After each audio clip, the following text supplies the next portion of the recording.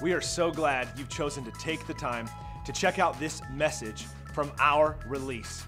We as a church believe that God is releasing a sound, that, that He's releasing a movement through Community Church that is both what He's doing in our house and also releasing people into their destiny and purpose. We took three nights here in the month of September and watched God truly change our lives in a way that will leave us never the same. I believe watching this message will do the same for you. We'd love to hear from you. If this message impacts your life in any way, please send us an email. Let us know how you're changed. Now get ready to hear a life changing message. It's good to see you all out on a Monday night. And uh, let me get my technology up here. You know, what would we do with how I don't know how Jesus did it. I really don't. But uh, man, it feels good in here. I've been uh, I, I've been chomping at the bit for about a month to get here to preach tonight. And I'm, I'm going to do some preaching tonight, okay? You know, I was thinking about this today and about times like this. And, and uh, years ago, there was an old term that they used, and it, it, it, the, the term was a holy convocation.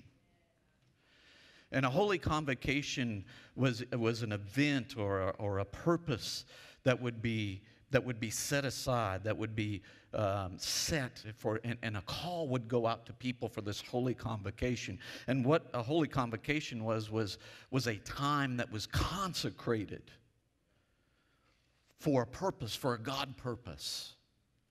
And then what would happen when they would call a holy convocation and consecrate that time, then what happened is God would release a sacredness into it. And when God releases a sacredness into something, it's not just from like seven to nine o'clock tonight. No, when God released a sacredness into something, it permeated it and it stayed upon it.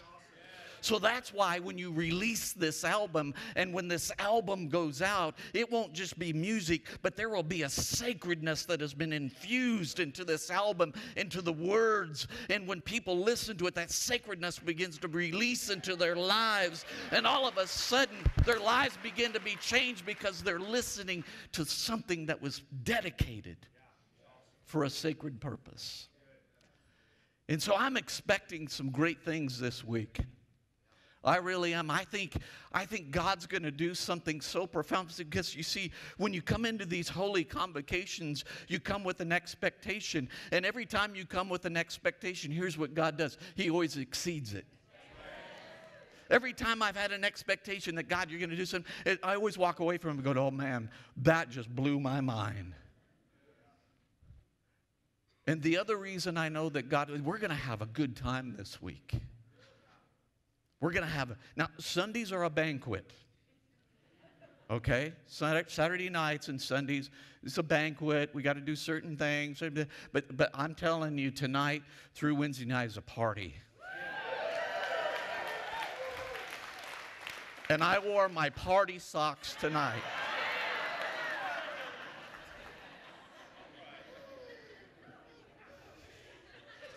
There is an anointing on these socks. No, I'll tell you where there's an anointing, there's anointing on the Word of God. So let's get into the Word of God. Amen. I want to share with you some things tonight about really even along the lines. There's this thread. When God begins to do something, you know it's God because uh, I, I really didn't know a, a, lot about, you know, the, the, the series that was being started and, and, and a lot about the thoughts of this album and everything. You know, I, Pastor Michael talked to me a little bit about. But when you know it's God, when all of a sudden there's a thread, there's a common thread. Because some of the things I'm going to share to you tonight are going to be a, a common thread that we're going to weave into what God is doing in your lives and in the midst of this great work. Okay? Um, there's this scripture in 1 Kings chapter 5 that, that really kind of wrecks me a little bit. And when I read it and really began to um, just really concentrate and, and meditate on it. And it says this, but now the Lord might, well, let me give you a little bit of backstory. Um, Solomon is coming into his place. David, his father, has died, and Solomon's now become the king. Okay? And he's, he's talking, uh, conversing with uh, the king of Tyre, Hiram, the king of Tyre, who was a good friend of his father David's. They were just kind of like, you know, BFFs. And, and, uh, and so Hiram saying, hey, you know, I was sorry to hear about your dad. And, you know, we were very, we believed in your dad, very supportive, you know, great king. And, and now you come in and I know, you know, you're going to be equally, if not more, as a great king as your father. And, I, and I'm hoping that we can have the same kind of relationship. And he's talking about all this. And, you know, and, and, and Solomon's contemplating all this. And he, and he says this about, you know, him taking the reign, the throne. And, and in, in, in verse 4 and 5, he says this But now the Lord God has given me peace on every side. I have no enemies, and all is well. Think about that. He's saying, I have no enemies, and all is well. Another translation said this Solomon said, I have no adversary. Or we could, we, without changing the context, really, he, he literally said this I have no Satan in my life. Think about that. How would you like to be able to make that declaration? I have no Satan in my life. The title of my message tonight is Unrestricted.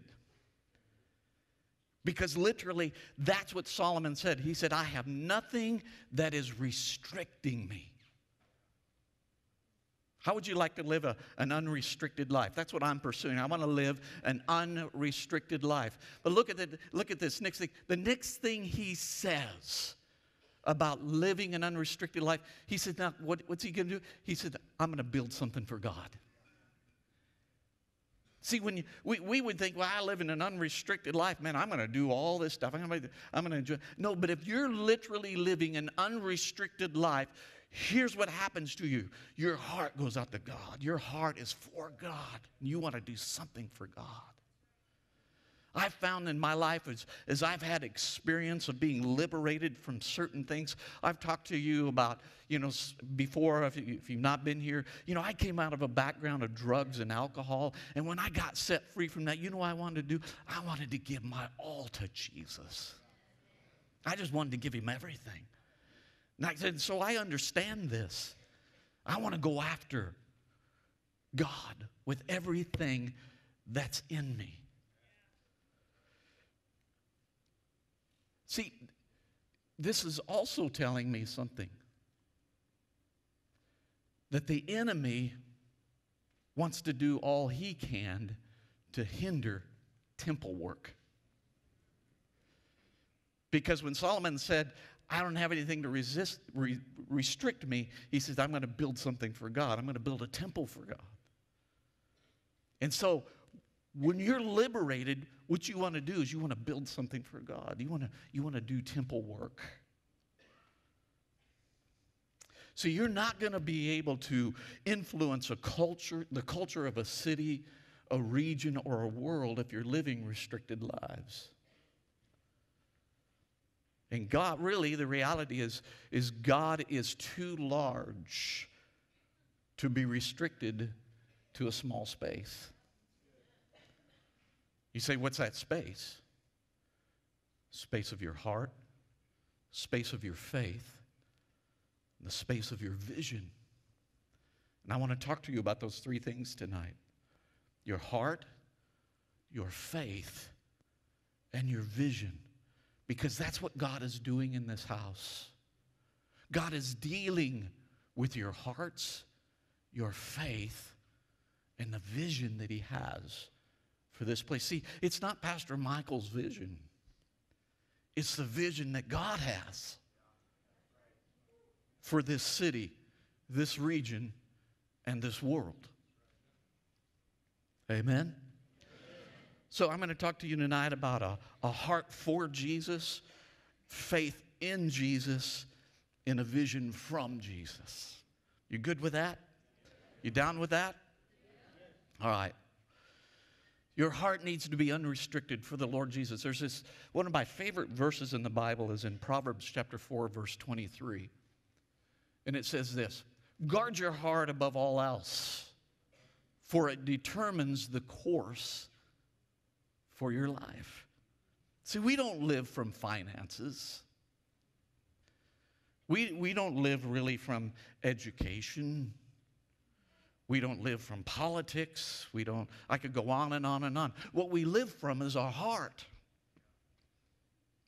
That's where we live from. Guard your heart, in other words, guard your heart with all diligence, for out of it are the issues of life. That word issues in the original language means the environment. Your environment of your life is determined by your heart. In Matthew chapter 5, there is this, this portion of scripture, in in Matthew chapter 5, 6, and 7, really is what we know as the Sermon on the Mount. But in Matthew chapter 5, there's this segment that, that, that we call the Beatitudes that Jesus spoke. And in Matthew chapter 5, verse 8, Jesus said this God blesses those whose hearts are pure, for they will see God. The clarity that you see of God is determined by your heart. So if you're letting things in like fear and doubt, anger, bitterness, jealousy, all of those things, when you let those in, what happens? They begin to cloud your heart.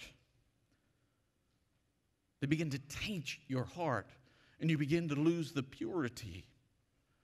Jesus said, Blessed are the pure in heart, for they shall see God. One of the things that I am most intent on in my life is to see God. Not see God with my eyes, but see God with my heart.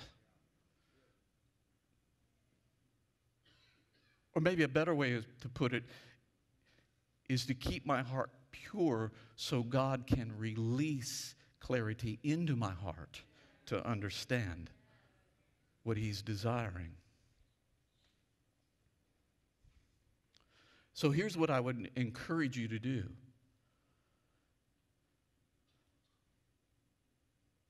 Make the condition of your heart a priority in your life. Be intent upon the condition of your heart. Don't just let anything and everything come into your heart. Years ago, this is years ago, I did a little commercial fishing on the Missouri River and there were these big old catfish in the Missouri River. I mean, some of them, they had mouths on them like this wide, huge, big, big old bull cats. You know what they would do? They'd lay on the bottom of the river and just open their mouth up. That's how they fed. They wouldn't go hunt for food. No, they just lay there on the bottom of it, open their mouth up, and whatever came, they ate. Don't be a bull cat. Because what happens is you end up being full of bull.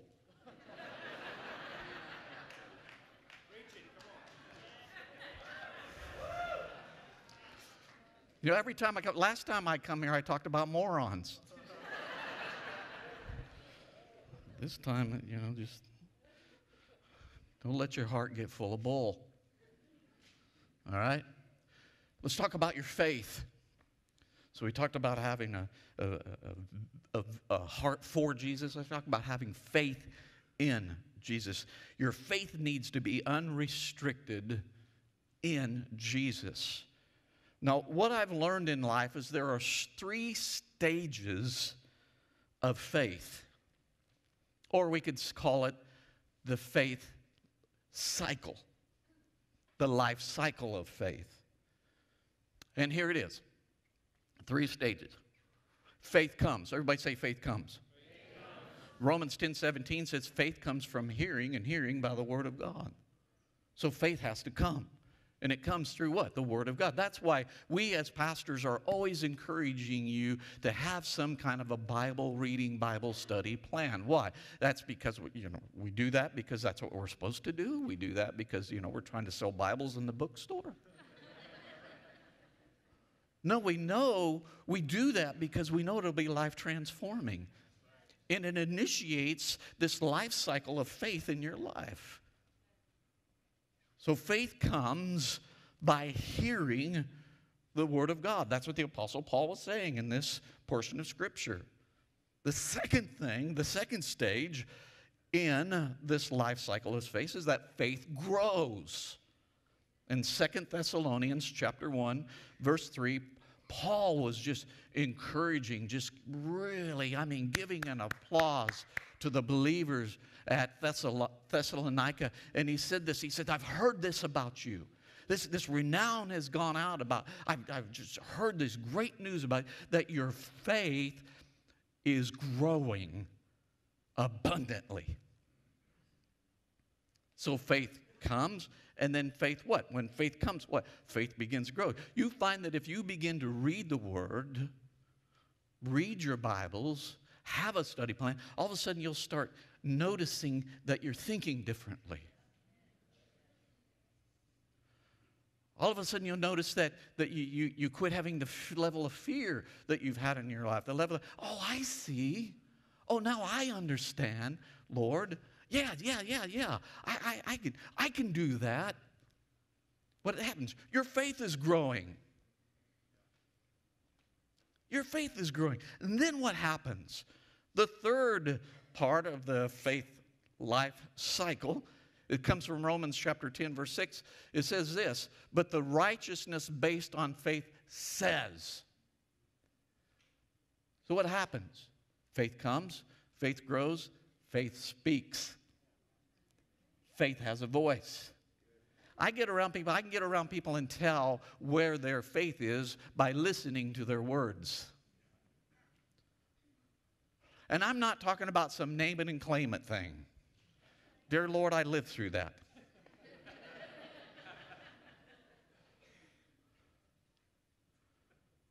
I'm going to be a millionaire. I'm going to be a millionaire. I'm going to be a millionaire. I declare I'm going to be a millionaire. I no more believed I was going to be a millionaire than, I don't know what, than I could sing and play like Tony.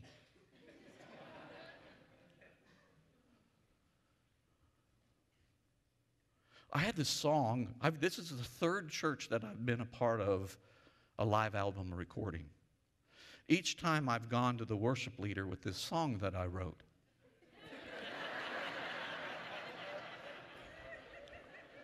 I had a title to it, and, and I've changed the title though, because as I've gone to each of the worship leaders in these live albums recording and sang the song for them. I, I, you know, the Bible says, out of the mouth of two or three witnesses, let everything be established. And so each time I've gone to them, their response was, Oh, Lord Jesus, help me. so I changed the title to the song, Oh, Lord Jesus, help me.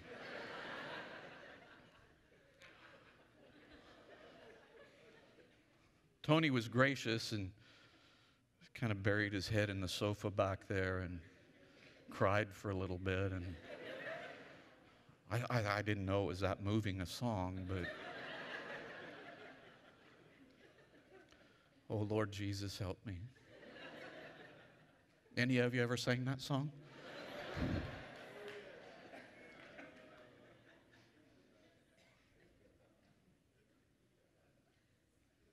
See, if you don't have any faith, that's the kind of song you'll sing. Oh, Lord Jesus, help me. That'll be your voice. That'll be what you say. So, the life cycle of faith is faith comes, faith grows, faith speaks. Come on, let's say this together. Faith, faith, faith. Say it again. Faith, faith, faith. Remember that. Remember that for your life. So, let's talk about vision. You need to be unrestricted in your vision from Jesus. That's the thing I love about this house, really. Your vision for Jesus. But I, have pastored long enough to know that not maybe 100% of you have really bought into this vision. You need to. Because again, it's not Pastor Michael's vision, it's the vision that God has.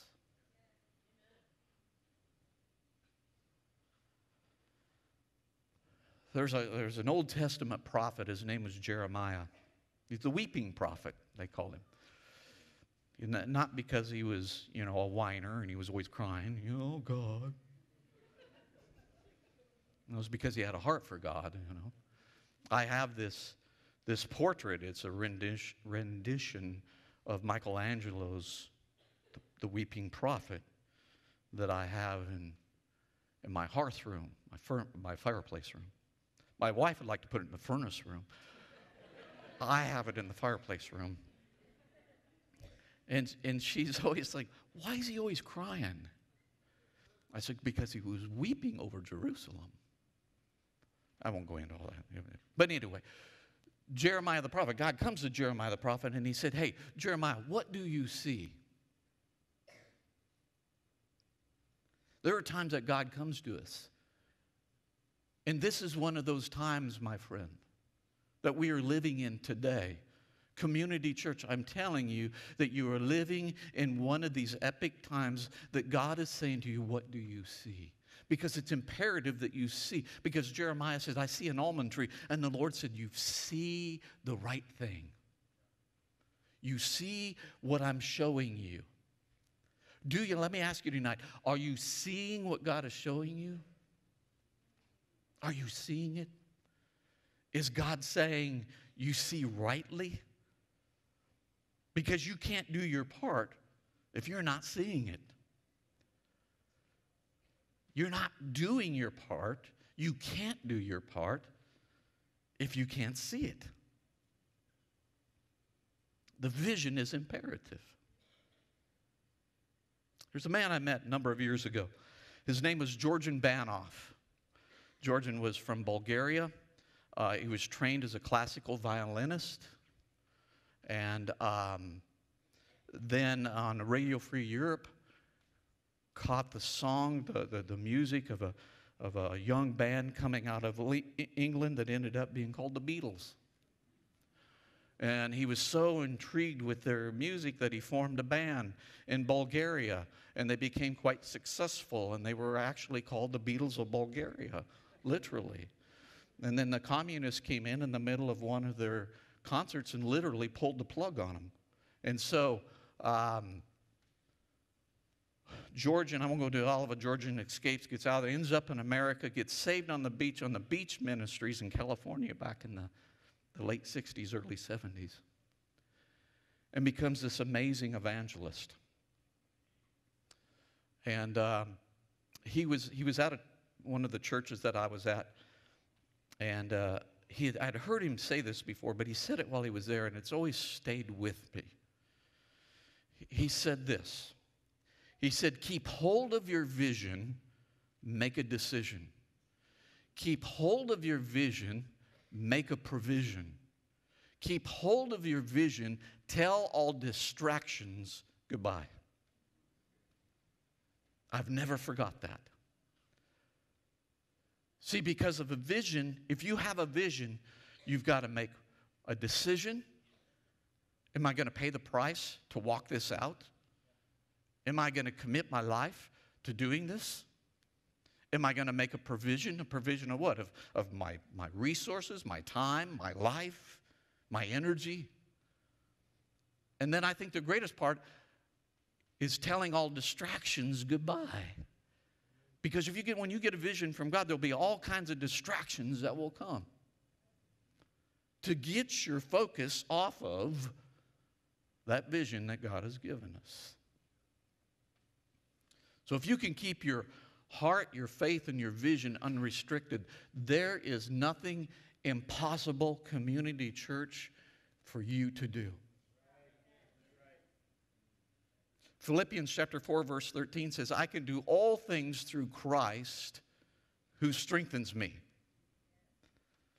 My wife just got that tattooed on her bicep. Philippians, that's her life scripture. Philippians 3:14. She got it on her bicep because that's strength. The girl's got some guns, too, by the way. We were coming home from the gym the other day. She goes, Look at this. And she flexes. I'm like, Girl, you got some guns. She goes, Yeah, I've been working on that one machine over there. But yeah, Philippians 3:14 tattooed right there. I said, You can go on staff at Community Church now.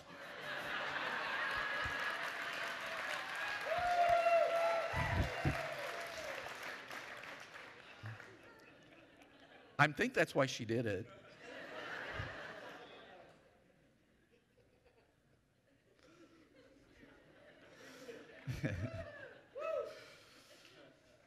oh, I could teach you some things on that line about what's yeah, missed teachings about tattoos. But see, Jesus will provide the wisdom, the understanding, the grace, and the skill and the finances to accomplish every desire he leads you into. Let me say that again. Jesus will. Everybody say, Jesus will. Let me put it this let's say it this way Jesus desires. Say it again. Jesus desires to provide the wisdom, understanding, grace, skill, and finances to accomplish every desire he leads you into. And so years ago, I started saying this I'm just crazy enough to believe that I can do anything that the Lord puts in my heart to do. And that's the way I live my life. I'm just crazy enough to believe that I can do it. Okay? Let's talk about, um, I want to talk to you about three enemies to your faith, to your heart, to your faith, and to your vision. Because you know there's going to come resistance. All right? But we got to understand if we're going to live unrestricted in this, we got to understand that there, the enemy does have a scheme. He does have a, a tactic to try to thwart you from this. The number one thing is fear. We've been talking about, see, this is that thread. It's fear. It's the anti Philippians 3:14. 3:14 says, "I can do all things through Christ who strengthens me." Fear says, "I can't do anything because I don't have any strength from God." It's really what it is.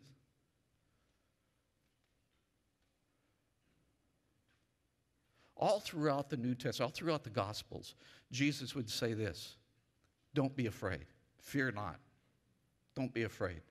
He would tell him, You know, I'm calling you to do something. Peter, get out of the boat. Don't be afraid. Fear not. So, what, literally, what Jesus was meaning is that his demands never exceed our abilities if we accept those demands with an attitude of faith. Oh, that was good.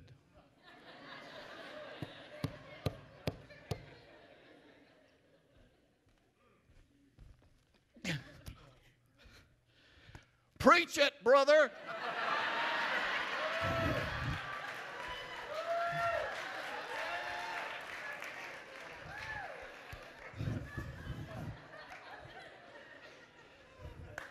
Sorry, guys.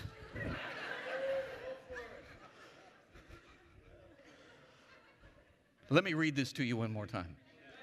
No, don't, don't, let, don't let me read this. Let me declare this to you one more time. Jesus demands never exceed our abilities if we accept those demands with an attitude of faith.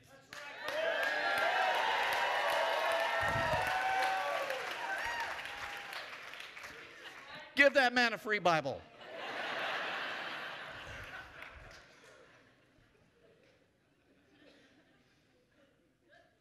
Because Jesus said this in Luke chapter 18. He said, What is impossible for people is possible with God. I, have been in a situation and I'm like, Oh Lord. And he goes, What? I said, Don't you see this? What? This problem. He said, I don't see any problem. You see a problem? I said, Yeah, I see a big problem.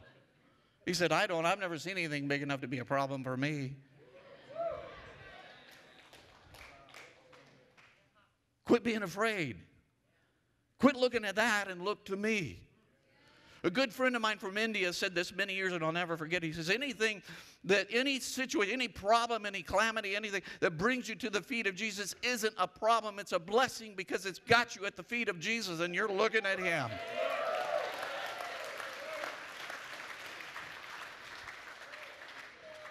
So I'm always looking for a problem.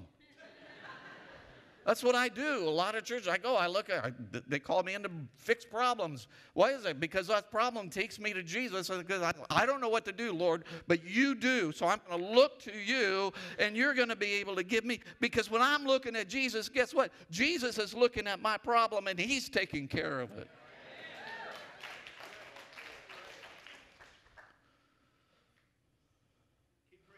I will. I don't even know what time it is. We don't. You tell me. They haven't even started the clock yet. I'm. I,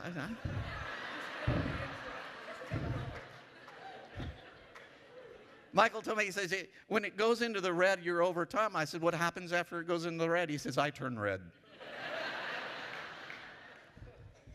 no. One of the greatest fears today is not economics, not politics. One of the greatest fear, and I could go on and list a bunch of other things. One of the greatest fears that people have today is commitment. Don't be afraid to commit. Don't be afraid to commit your life to Jesus and to the things of God that He's doing. Don't be afraid to commit your time to building the kingdom of God. Don't be afraid to commit your heart to the, to the things of God. Don't be afraid to, to, commit, to commit your skills and your talents to the things of God. Don't be afraid of that. Because when you do that, when you commit your life to God, that's really where the Lord then begins to infuse even greater sacredness into your life.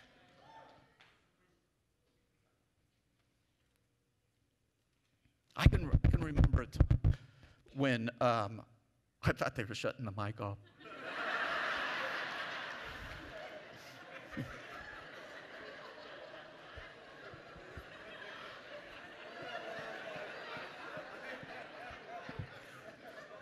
You got one of those phones down there that you call back to the sound booth in?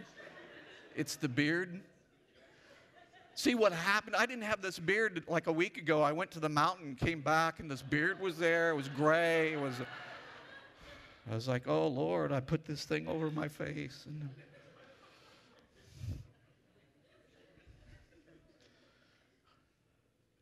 commitment. If you have committed to something, stay with it. Don't quit. You need to have the strength to take a licking, but keep on ticking.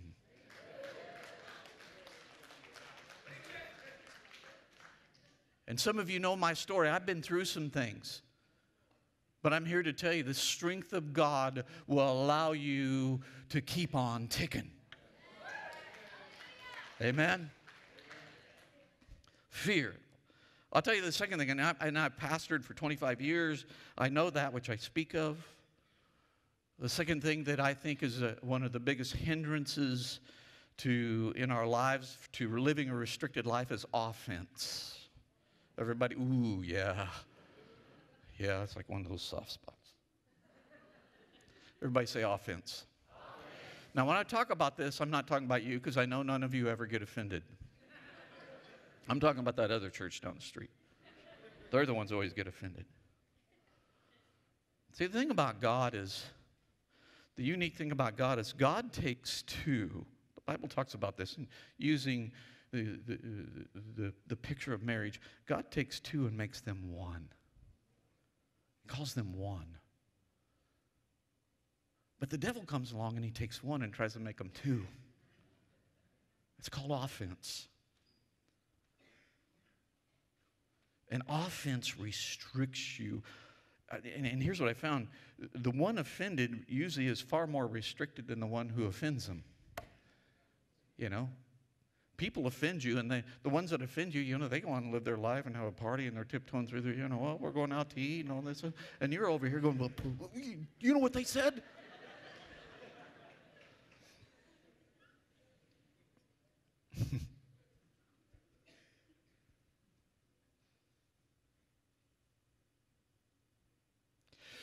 sometimes God uses events and people to offend you.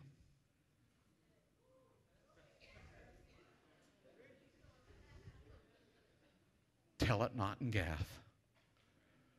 No, sometimes God uses people to offend you.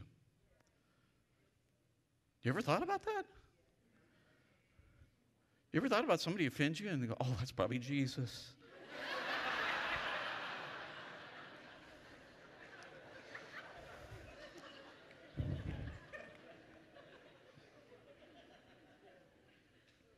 I don't. I always say it's the devil. It's the devil. But here's what I've come to learn uh, sometimes it's God uses people to offend you to get you a little bit further down the road, the path that He has for you. Jesus had these two guys in his life. One's name was Peter, and the other one's name was Judas.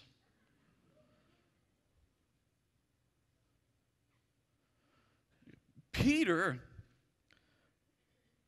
was trying to project, protect Jesus, and Judas was betraying Jesus. Jesus. Jesus comes to the disciples and he said, I need to go to Jerusalem and there I'm going to die. And, was, and Peter's like, No, I'm not letting you go, man. You are not going, you're going to stay here. I'm going to protect, I'm going to keep you. And, and Judas goes out and betrays him, sells him off for 30 pieces of silver. Here's what's interesting Peter trying to protect Jesus, and Jesus says, Get behind me, Satan. You're hindering me. Judas comes with the, the group of priests to betray Jesus with his kiss, and Jesus calls him friend. Why was that?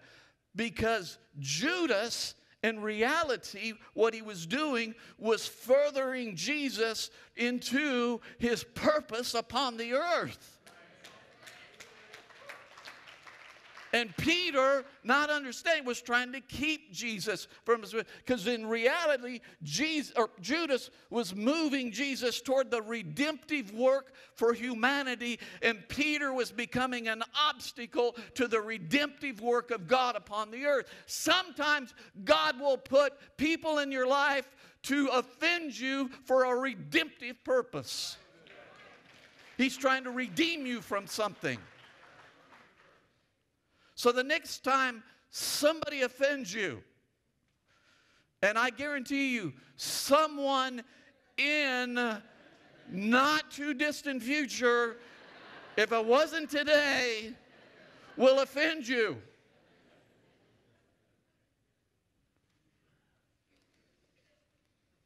And the way to respond to them is this Thank you, Judas.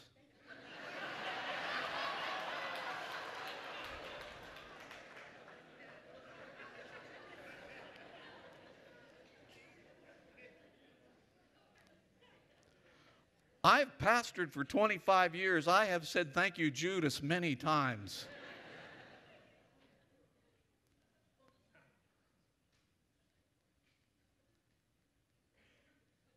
you got to be careful of offense. Pastor Steven Furtick said this recently. I heard him say this. I was watching uh, something he was doing, message or something, and he said that off, offense is an event, being offended is a decision. See, when offense comes, you have a decision to make. Are you going to get offended? Are you going to keep your heart pure? Are you going to keep your heart right? Are you going to say, God, what, what can I learn through this? It's difficult, it's not easy. Somebody comes and says something to you.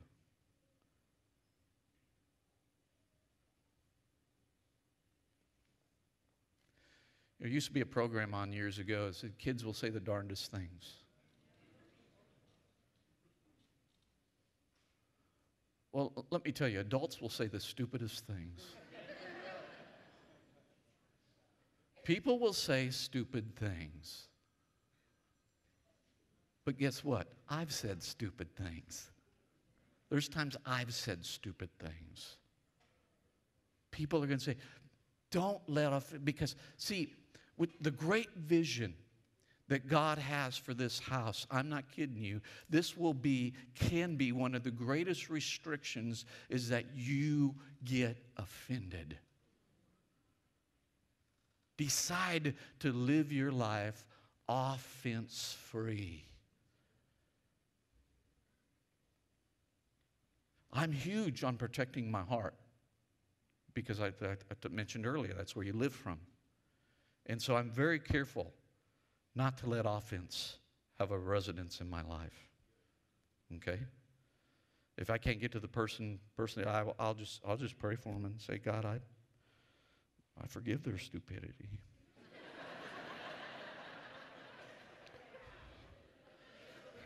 free them from their free them from their moronic ways, Lord.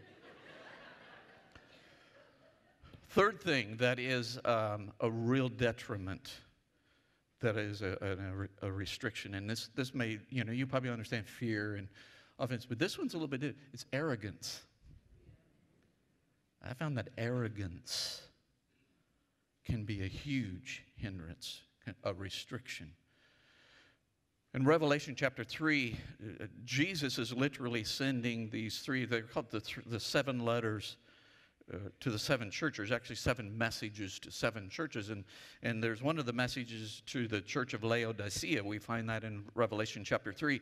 And in Laodicea, they're, they're having great success. I mean, it's huge, it's prosperous, all these great things going on. And, and Jesus comes along and says, You guys, I, I want to puke you out.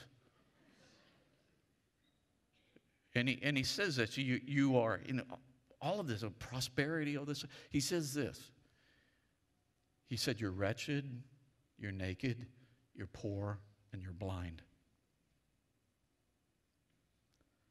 That's pretty harsh, isn't it? But what he was saying, and, and, and, this is something I've learned through the years, is that ignorance is a poverty, and arrogance is a blindness. When we become arrogant, we become blind to the things of God because arrogance is about self importance.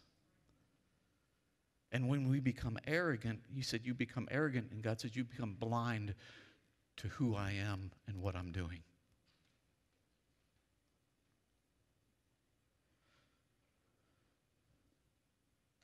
If arrogance is a blindness, then humility must be clear sightedness.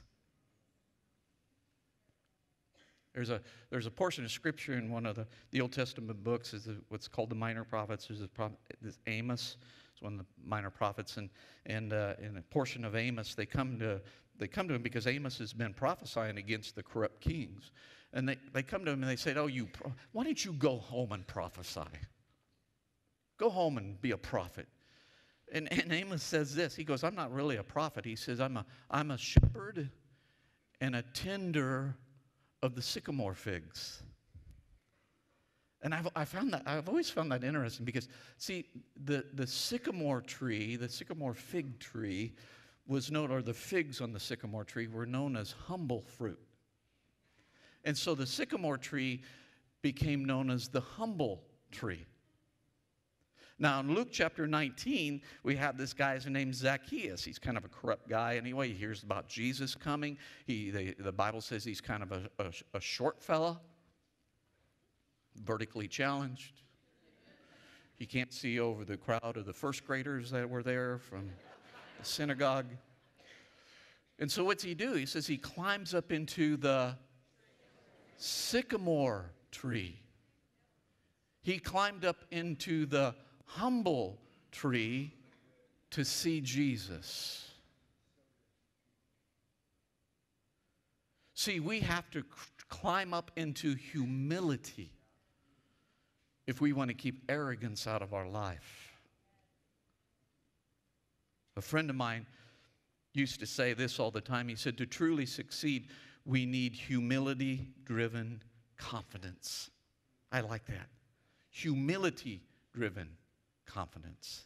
Not confidence in ourselves, but a humility driven confidence. See, through all of this, the reason for this message is I realize that God is endeavoring to increase the capacity of His presence in the earth, and we call that building the kingdom of God. Tony, you guys come on up. See, part of a, a big part of the vision of this house is, is 25,000, reaching 25,000 people by 2025. And you can't do that if you don't have a heart, you know, faith, and a vision for that. And you can't do that if you're allowing fear and arrogance, offense into your life. You've got to catch hold of this because it's God, 25,000 by 2025. You may be saying, well, how's that? What, uh, you know, here's what I started doing this years ago. When something big would come up, whatever, instead of going, oh, I'll never be able to do that or that'll never happen, I'll say, why not me? Why not me? Why not you? Why not community church 25,000 by 2025? Why not? Somebody has, well, why not? Everybody say, why not? Why not? Say, why not us? Why not, why not me? Why not? Why not? I mean, come on, why not?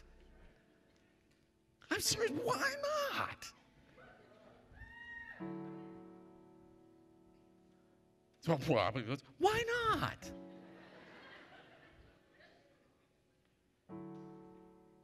I want to close with this. Oh my gosh, we're in the red. Now they throw the red up. that was white zeros five seconds ago. I kid you not.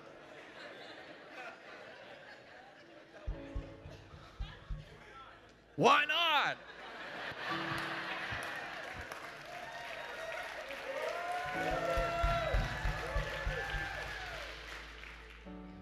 I love this quote from Nelson Mandela.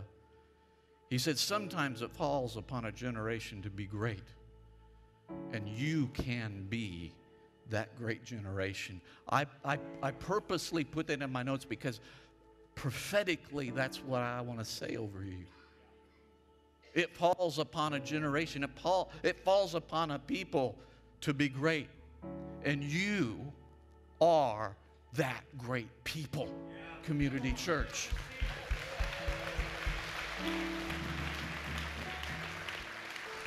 Lord, I pray over this house. We've come into this place and we've called this holy convocation for these next three days. We have consecrated this time, we have consecrated our lives to be here in your presence, oh God. I ask you to infuse your sacredness into the hearts of these people. Your sacredness that permeates every aspect of their lives, from the top of their heads to the tips of their toes. I pray, God, that you release. You release sacredness in such a way that it exceeds our expectations this week. That lives are touched in such a way, God, that we stand in awe. We stand in awe of you, Jesus.